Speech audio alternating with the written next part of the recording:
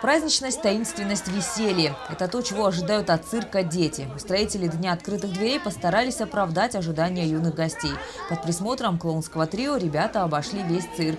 После игры аквагрима юные гости попали на манеж. Здесь их ждали маленькие и безобидные пони. Ребятам предоставили возможность прокатиться в настоящем седле. Удивленные глаза и радостный смех детям явно угодили.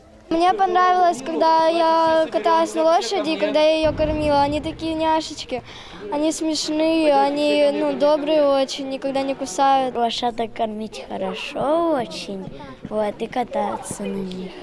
Здорово. Мне очень нравится. Э, мы вот на пони катаемся.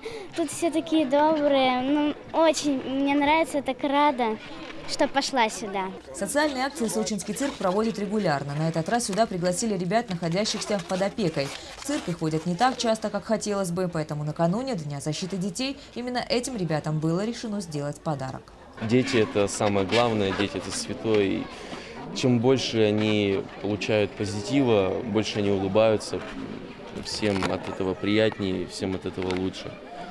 Вот, собственно, мой партнер, клоун Масё, клоунское трио без носков у нас там цирк.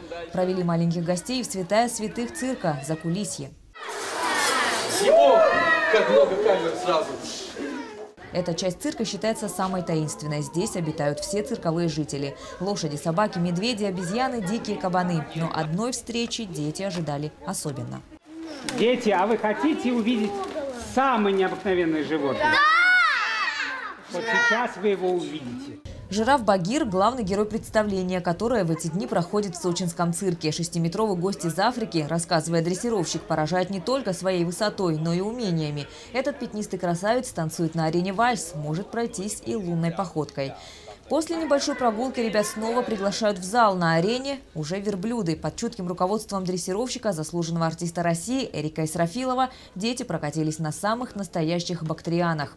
Несмотря на свои большие размеры, эти млекопитающие легко поддаются дрессуре и могут выполнять интересные элементы. Понравился вот этот вот верблюд, вот такой хороший. Еще мне поле понравилось.